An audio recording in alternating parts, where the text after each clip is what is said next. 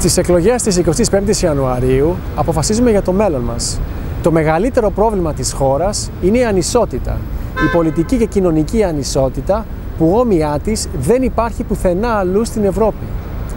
Αν πιστεύεις στη δικαιοσύνη, αν πιστεύεις στις ίσες ευκαιρίες, απόρριψε το λαϊκισμό, απόρριψε το πελατειακό κράτος.